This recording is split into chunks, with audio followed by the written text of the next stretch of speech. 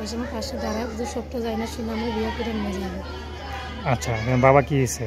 বিয়ে করে চলে গেছে। আচ্ছা তো বাবা বিয়ে করে চলে গেছে তো এখন তো অনেক ছেলেরাই মনে করেন আসে আসে তো আগে বাবা মার কথা জিজ্ঞেস করে।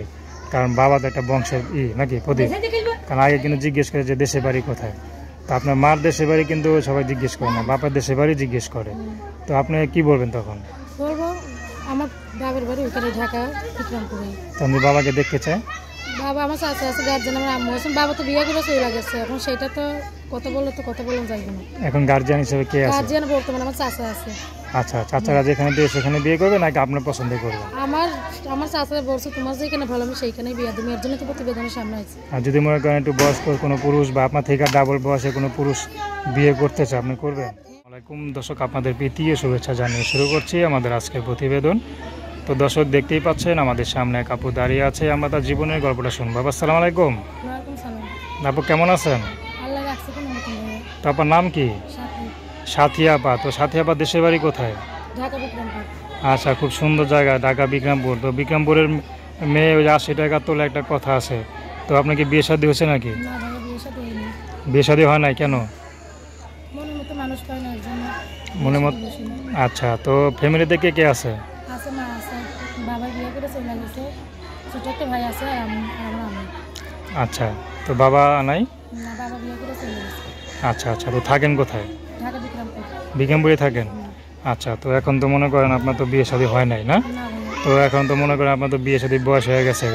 তো সময় থাকে যদি মেয়েরা বিয়ে শাদী না করে তো পরে তো যৌবন গেলে তো আর কেউ বিয়ে শাদী করতে চায় না। বিয়ে সাথে বসে না ভাই মনের মতো মানুষ পায় পাশে এসে দাঁড়ায় না একজন না। অনেকে আপনার চান না যে যৌবন থাকতে বিয়েটা করতে?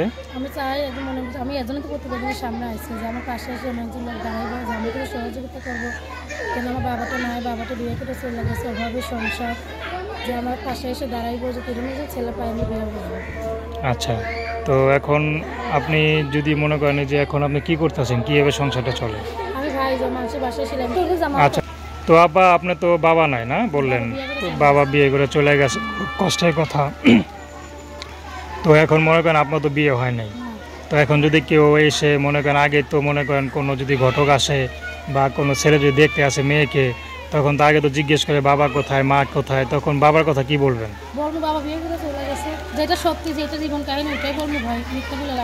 তখন কিন্তু খারাপ লাগবে না তখন যদি সে ছেলে আবার বলে না বিবাহিত মানে যে যার নাকি বাবা নাই তো সে মেয়েকে আমি বিয়ে করব এরকম যদি এরকম কখনো হয়েছে ভালোবাসবে যে আমরা বিয়ে করবে সেটা বুঝাশোনা করবে।